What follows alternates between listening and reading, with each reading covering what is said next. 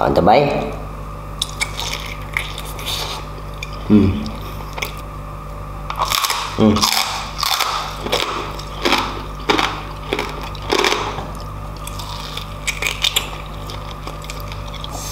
Wow.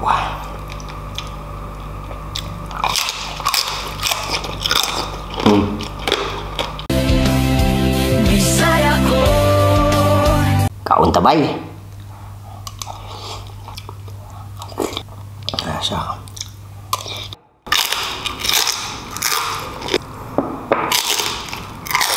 Mm. Mm.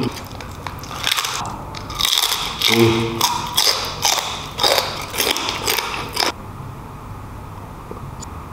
Wow.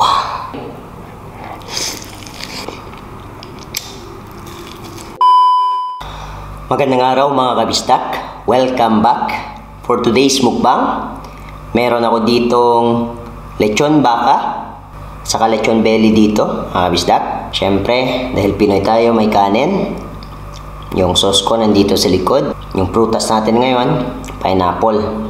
Saka may pineapple juice tayo mga kabistak. Ngayong araw, subukan natin yung lechon baka saka yung lechon belly. Saan ba mas masarap? Siyempre, mas malutong yung belly natin. First time ko nagluto nito, lechon baka. O bago po tayo magsimula, dasal muna tayo. Panginoong Diyos ko, maraming salamat dito sa mga pagkain na sarap ko. Bless niyo po ito mga pagkain. Bless niyo po yung pamilya ko. Bless niyo rin po yung mga kababayan kong OFW na malayo sa kanyang pamilya. As this in Jesus' name, Amen. So tara mga kabisag, simulan na natin. Siyempre, kita nyo naman yung diferensya.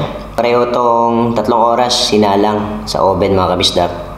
To, mabilis masunog yung ating lechon baka. To, kita nyo, medyo itim siya. Siyempre, yung lagi natin niluluto ng lechon belly, ito po siya. So, since first time ko mag lechon baka, simulan natin dito sa lechon baka natin mga kabisdak. Ito. Ito. Wow. So, unang subo para sa inyo. Ang tabay. Hmm.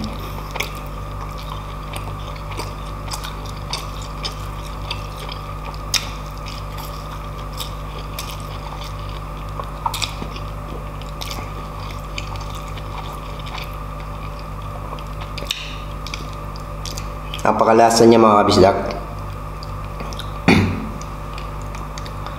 Pakita ko sa inyo yung laman.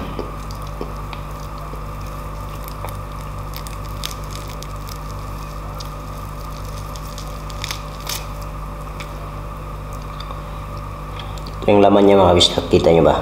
Ito.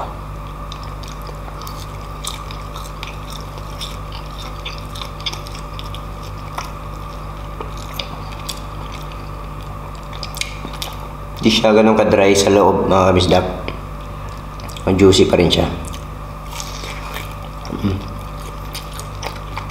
Sarap.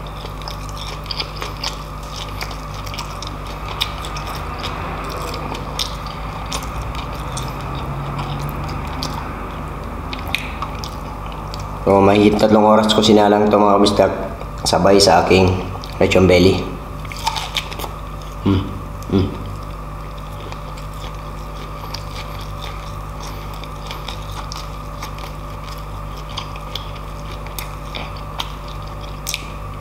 Napakasarap mga kabisdak. O dito naman tayo sa ating laging nilu uy, niluluto. O, kabisdak ko. Sabi. Hmm.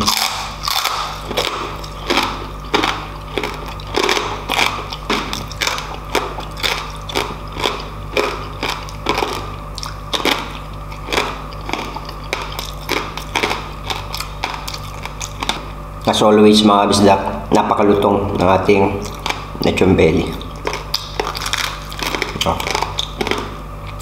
Naghihiwalay na siya sa laman, yung balat niya mga kabisdak. Kaya napakalutong niya. Oh. Kita nyo. Ang ganda ng pakaluto. Grabe. Hmm.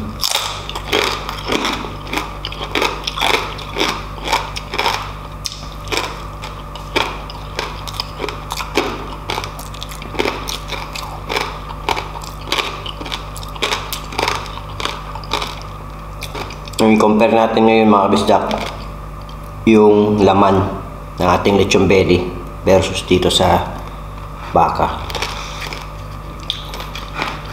Ito siya mga kabisdak, yung laman niya. Ito.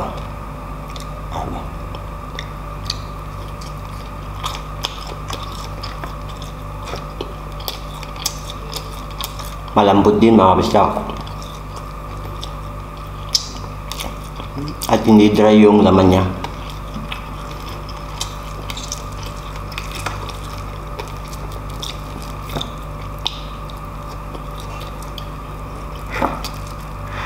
Mainit nga lang.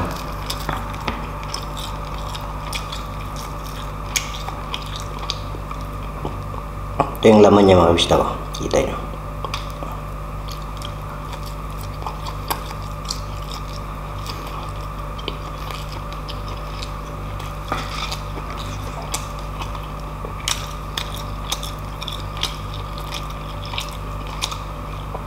Pareho masarap kung sa lutong dito tayo kasi di naman natin pwede palutuin to. Walang balat. Pero gusto ko yung laman ng lechon baka natin. Napakalasa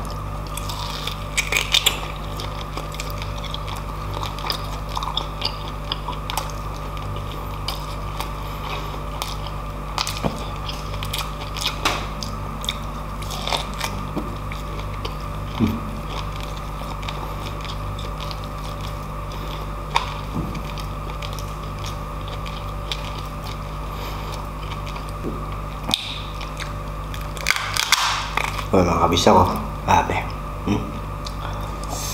wow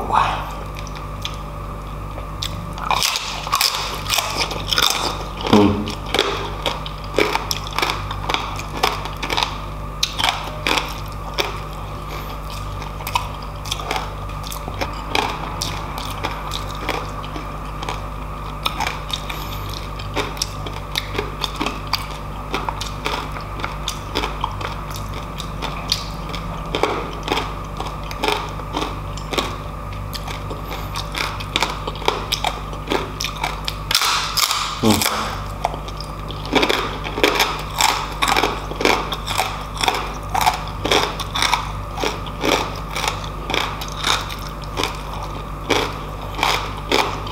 Sabi. Napakalutong. Mm.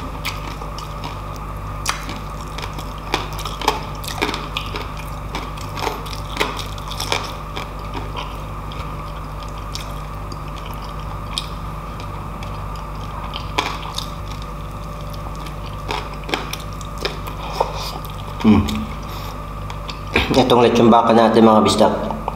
Ah, marinate ko to ng overnight para mas malasa siya mga bisdak.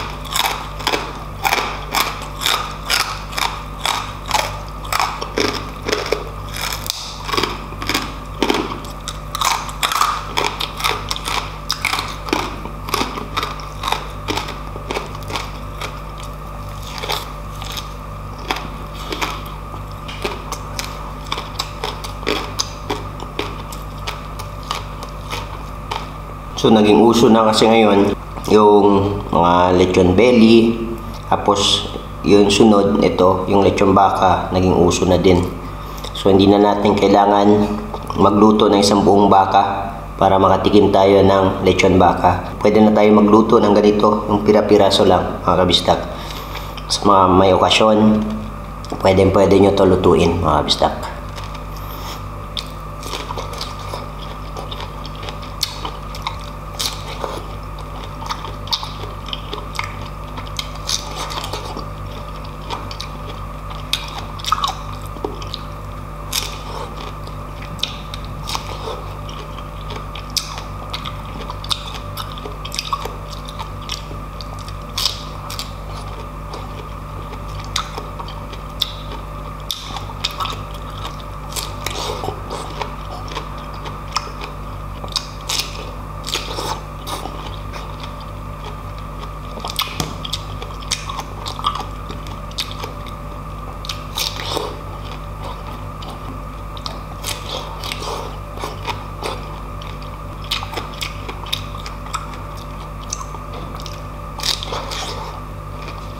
Mga kabista, gusto ko lang kayong imbitahin, suportahan yung aking mga channel members. Nandito yung mga pangalan po nila, naka-display sa screen. Kung hindi nyo pa na-subscribe, please do subscribe to their channel. Like and click the notification bell para lagi po kayong updated sa mga latest videos po nila. Gusto ko lang din pasalamatan yung nag-super chat nung nakaraang premiere, si Inyaki TV. May channel po to siya. Please support his channel. Click the notification bell para updated kayo sa mga bagong videos po niya. Don't forget to subscribe to his channel. Isang mabilisang shoutout din din kay Dabi Habi TV. Shoutout sa iyo. Shoutout sa mga kapatid natin Filipino mukbanger at saka sa mga ASM artist. Sa pamilya ko sa Pinas, shoutout sa inyo lahat. At saka sa mga bagong subscribers ko, shoutout din sa inyo lahat. So hanggang sa sunod na mukbang na naman, ingat po kayo lagi. God bless everyone. Adios.